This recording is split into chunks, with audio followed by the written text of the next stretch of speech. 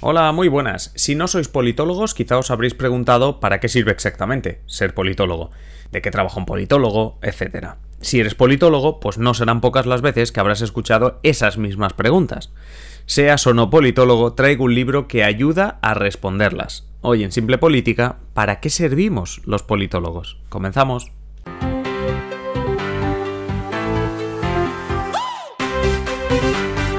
Os habla Adrián Caballero y esto es Simple Política, el podcast que trata de simplificar y traducir todos esos conceptos, estrategias y temas que están presentes cada día en los medios y que nos gustaría entender mejor. Es jueves, toca Docuteca y con ella esta semana toca un libro escrito hace un par de años por el catedrático emérito de la Universidad Autónoma de Barcelona, Josep María Vallés. El título del libro ya te dice por dónde van los tiros, porque el título es ¿Para qué servimos los politólogos? y es precisamente lo que os vamos a contar. En Simple Política te necesitamos como mecenas para seguir haciendo nuestro trabajo de simplificar conceptos y explicarte el día a día de la política. Por ello, siempre te invitamos a que te unas a nosotros en patreon.com barra simplepolítica o el enlace que encuentras en la descripción del episodio. A cambio te ofrecemos no solo el avance de nuestros programas diarios, contenido especial o la posibilidad de contactar con nosotros vía chat, sino que cada domingo por la mañana te haremos llegar nuestra newsletter, la news donde seleccionamos para nuestros mecenas los mejores artículos de análisis, de opinión y reportajes para que los leas con calma. Además, en la news comentamos esa parte de la actualidad de la semana que no hemos podido atender en nuestros episodios y te recomendamos episodios de podcast, programas de televisión, vídeos de YouTube y un largo etcétera de contenido hecho por otros compañeros y compañeras que creemos que te va a gustar. Ya sabes, si quieres recibir cada domingo la news, además de otras ventajas, hazte mecenas de Simple Política en patreon.com barra Simple Política. Y ahora te dejo que sigas disfrutando de este episodio.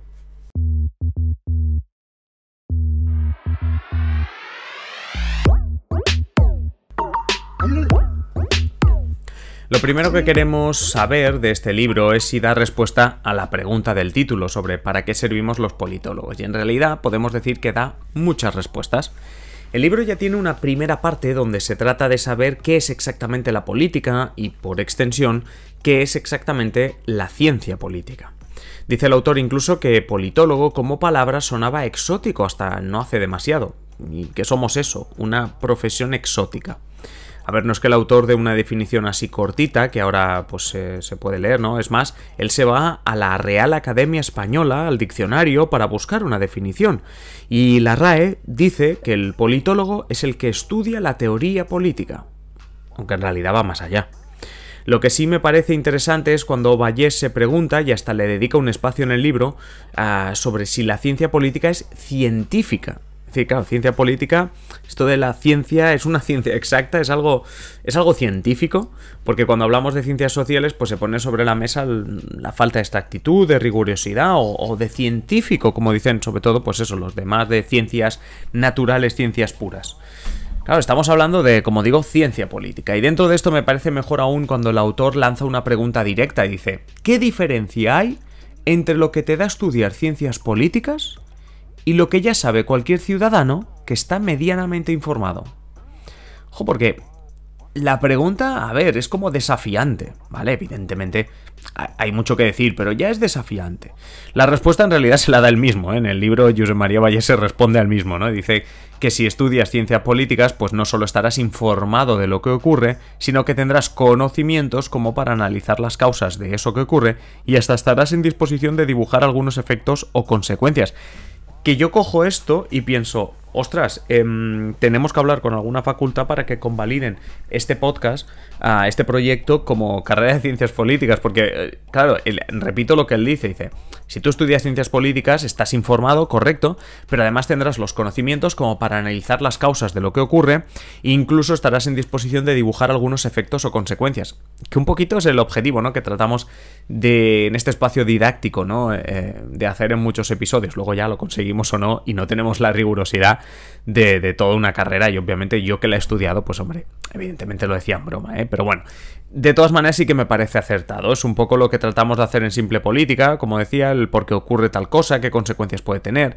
Y de vez en cuando pues traemos también conceptos teóricos para que los tengáis en mente, aprendáis y poco a poco incluso pues seáis ese experto, ¿no? Que dice José María Valles. Más adelante en el libro dice Valles que estudiar ciencias políticas tiene tres objetivos, o dicho de otra manera, que la carrera de ciencias políticas tiene tres objetivos. El primero para él es enseñar cómo investigar sobre fenómenos políticos que han ocurrido, el segundo enseñar a explicar el porqué de esos fenómenos y el tercero enseñar a analizar y saber encontrar posibles consecuencias de esos fenómenos. Os explico cuando digo los objetivos de la carrera, porque como un politólogo es el que al final simplificando mucho, es el que tiene esa carrera, pues así más o menos podemos también ayudar a entender para qué sirve el politólogo. Para todo esto, los estudios de ciencia política acaban siendo, pues, mm, bastante amplios, hay que decirlo. ¿eh? Una de las bromas, cuando, cuando yo estudiaba, cuando estaba en la facultad, más que la facultad, cuando estaba con la familia, ¿no? Y estaba en la época en la que, en la que estudiaba, o con los amigos que no estudiaban eso, era decir que, que la carrera servía para ganar al trivial, porque tocaba historia, economía, conocimientos generales. Vamos, que menos los quesitos de deportes y espectáculos, había un poco de todo en, en ciencias políticas. Eso sí, detrás de la coña, que yo hago mucha broma, pero realmente aquí hay un politólogo, eh, dejadme deciros lo que les digo a los alumnos que a mí me preguntan. Digo que me parece ciencias políticas una base buenísima de preparación, no, no lo niego. Te da una amplitud de conocimientos genial, para mí es una base de conocimientos dentro de las ciencias sociales casi imprescindible. Obviamente, pues claro, si no te gusta la ciencia, o sea, la política, pues mm, es como un poco masticar cemento, pero me parece que te da una, amplitud de conocimientos muy, muy grande. Sí que es cierto que cualquier alumno con el que haya hablado de esto, que a veces pues se me acercan alumnos, me envían mails o lo que sea, tienes reunión, estás hablando de una cosa y al final acaba derivando en esto, ¿no? El futuro, en para qué sirve, etcétera, etcétera pues siempre que he acabado hablando, pues, eh, y seguramente alguno que me escucha ahora sabrá que siempre esta conversación acabo diciendo que para mí lo mejor es combinar ciencias políticas con algo. No digo que no valga ciencias políticas, sino que es una muy buena base combinar con algo. Algo que puede derivar de ciencias políticas, ¿eh? No, no, no me refiero que no, es que si no tienes económicas, no. No, no, no. Sí, puede ser dentro del ámbito de la politología, dentro del ámbito de la ciencia política. Hablo de un máster, de combinarlo con otra carrera si quieres. Del máster, pues por supuesto un máster que vaya enfocándote en algo específico a lo que te puedes dedicar después de esto. Un posgrado, es decir, algo que te vaya a dar el enfoque concreto dentro de la ciencia política. Pues, oye, que no es que la segunda carrera quiero hacer derecho, pues hazlo, si no pasa nada. Pero dentro de la ciencia política puedes encontrar incluso un enfoque que coja toda esa base que tienes, que es buenísima, que te han preparado perfectamente para rematar la faena eh, en, aquello que realmente uno pues tiene, tiene pensado dedicarse.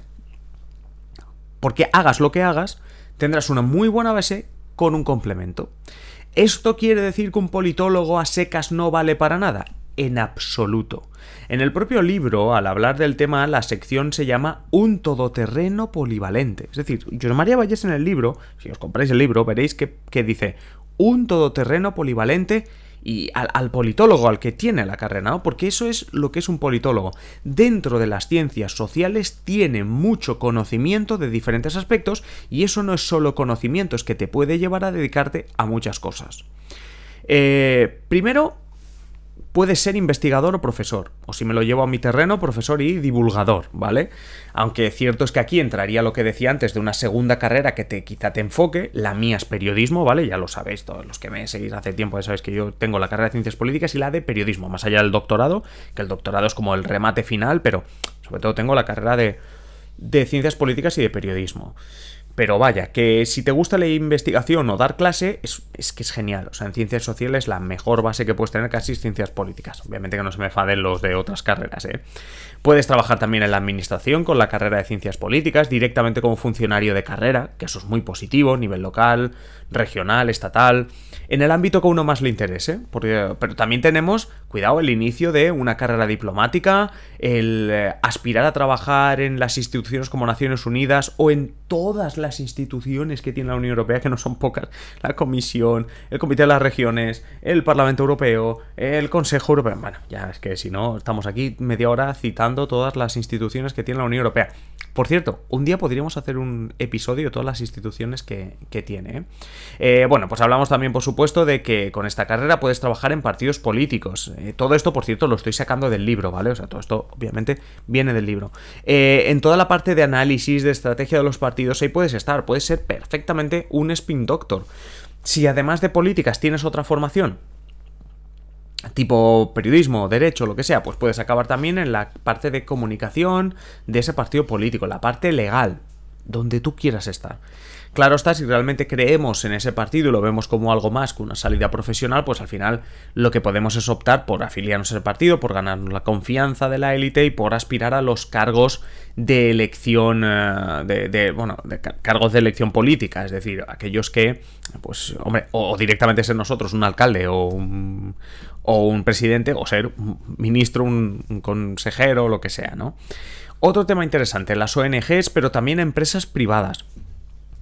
Porque hay empresas demoscópicas que necesitan nuestro análisis, existen empresas y lobbies también muy relacionadas con la administración y que nos necesitan porque conocemos cómo funciona el mundo de la política y, sabemos analizar mejor quizá que muchos de los que tienen allí la realidad y establecer estrategias, ¿vale? Entonces todo eso también eh, importante. Y también decir que sin ser periodistas, pues podemos estar en los medios de comunicación. Yo porque soy periodista, pero tú tienes la carrera de ciencia política, tú eres un politólogo, que además puede irte un poco el tema de la divulgación, te puede ir un poco el tema de la investigación, y puedes acabar en tertulias, en televisión, en radio, eh, hacer un podcast como hacemos aquí, mm, desde el punto de vista, pues sobre todo de análisis de, la actualidad. A ver, que el libro es mucho más interesante que contestar a esta pregunta, pero, pero yo creo que, sinceramente, pues muchos a lo mejor vais más por la parte de qué hace un politólogo y eso es lo que yo quería contestar. ¿no? Esto último de las salidas es como seis o siete páginas del libro y obviamente hay mucho más libro y es muy interesante. Recordad, ¿Para qué servimos los politólogos? escrito en 2020 por José María Vallés y publicado por la editorial Catarata. Y tenéis el enlace, como siempre, con toda la información en simplepolitica.com barra docuteca.